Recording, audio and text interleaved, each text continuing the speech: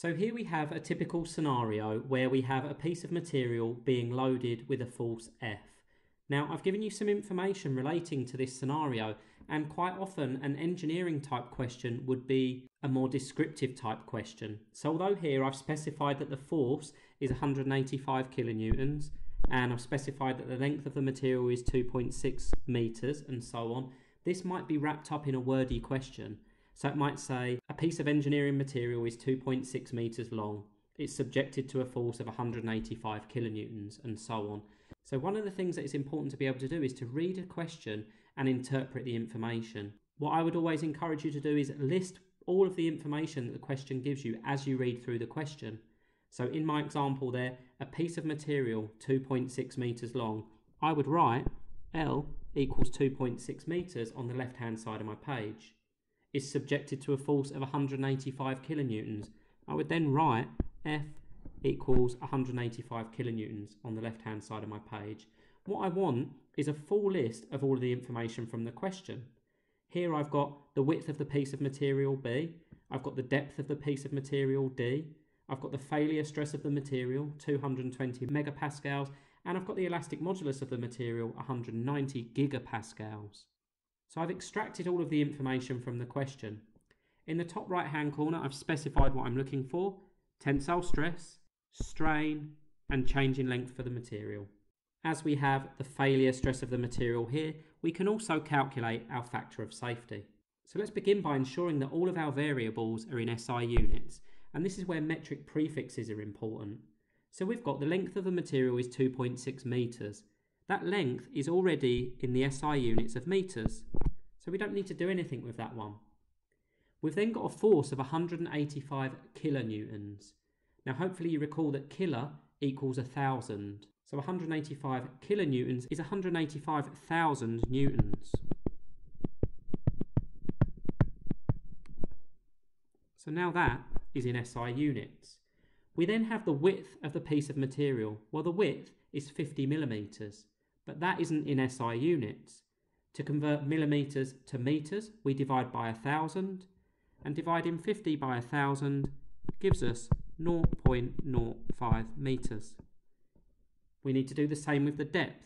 30 millimeters divided by 1000 is 0.03 meters. So those two have been converted. Next we have the failure stress of the material and here we have megapascals. Well mega is 10 to the 6 or million. We can write this two ways. We can write it as 220 times 10 to the 6 pascals, because pascals is our SI units. Or we can write this as 220 million pascals. So once again, that's now in SI units. And finally, we have the elastic modulus. Well, the elastic modulus here is 190 gigapascals. There comes a point where you no longer want to be writing all of the zeros on the end of these numbers. So giga is 10 to the 9. So we have an elastic modulus of 190 times 10 to the 9 pascals. Now once again you could write 190 billion or 190 with 9 zeros on the end. But as I said there, there comes a point where you don't want to be writing out all of the zeros. So now we have our force in SI units, we have our width and depth in SI units, we have our failure stress and our elastic modulus all in SI units. Now it's simply a case of plugging those numbers into our formulas. The first thing the question asks us to calculate is the tensile stress, sigma t. We learned previously that sigma t is force divided by area, and providing we have our force and our area in SI units, it's simply a case of plugging in those values. The area of this piece of material is just going to be the width times the depth. It's a rectangular cross section. So our stress becomes 185,000 for the force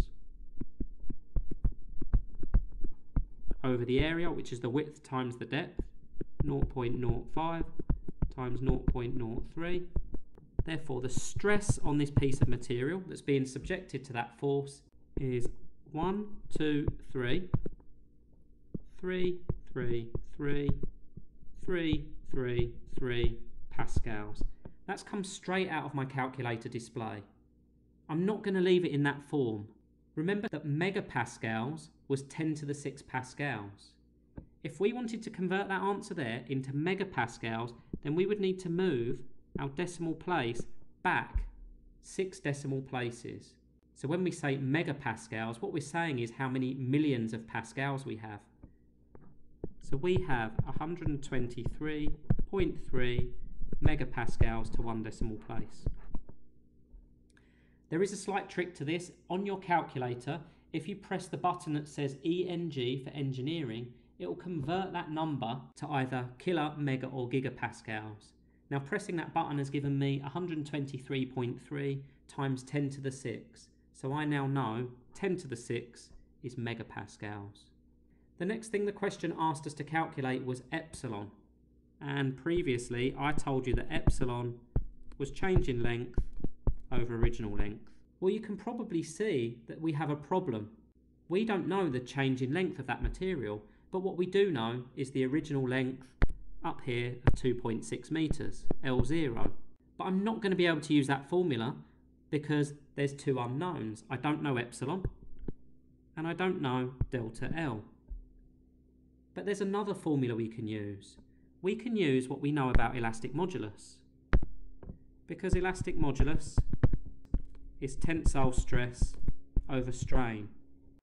I've already calculated my tensile stress, 123.3 times 10 to the 6 pascals, and I already know my elastic modulus. So I need to rearrange that equation to make epsilon the subject.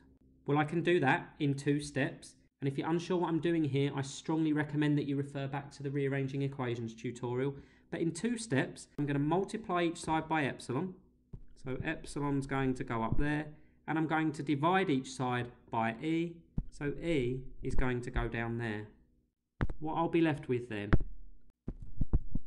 is epsilon equals tensile stress divided by elastic modulus. There are a number of different ways of rearranging that equation. So now to finish this off, I have epsilon equals tensile stress. Now here's the important thing. The tensile stress must go back into the equation in pascals. So one, two, three,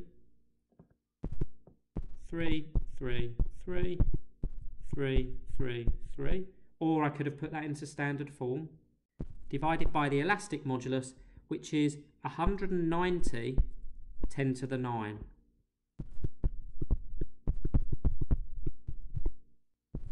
and running that through my calculator gives me an epsilon value of 6.49 times 10 to the minus 4.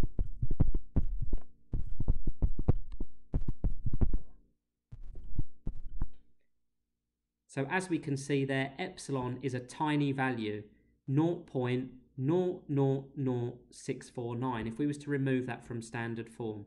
And epsilon doesn't carry any units.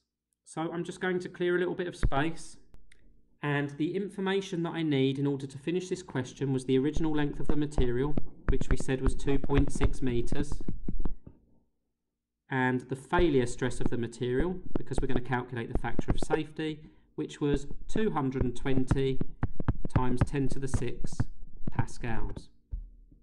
Now I'm going to calculate the change in length of the material, and the way that I'm going to do that is to refer back to our formula for strain, which said that the strain was the change in length over the original length. Well, I've calculated strain 6.49 times 10 to the minus 4 down here.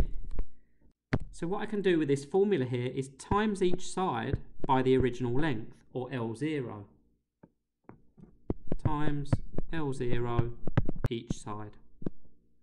And I'll get delta L, the change in length, is epsilon times L0. So plugging in my values, I'll get delta L equals epsilon 6.49 times 10 to the minus 4 times the original length. I'm just going to put this in brackets so that I remember it's in standard form.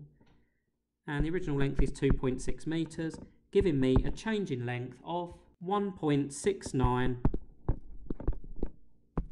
times 10 to the minus 3 metres. Now it's quite hard to visualise what 1.69 times 10 to the minus 3 metres looks like, but we can times that by 1000 to get the deflection in millimetres. And what that's equivalent to is 1.69 millimetres. So we had a piece of material that was 2.6 metres long. It's now 2.6 plus an additional 1.69 millimetres long. So it hasn't stretched a great deal, but the point is that it has stretched. I'm just going to finish this question off by calculating one more thing, and that's the factor of safety. So F of S. And the factor of safety is just the failure stress of the material divided by the tensile stress that the material is under. We've got 220 times 10 to the 6 pascals divided by the 123 megapascals or 123.3 times 10 to the 6 and that will give us a factor of safety of 1.78. And in engineering terms, that's a relatively low factor of safety, but it indicates that that material probably won't fail. And the reason it probably won't fail is because we're stressing it to 123 megapascals, but it's capable of withstanding 220 megapascals.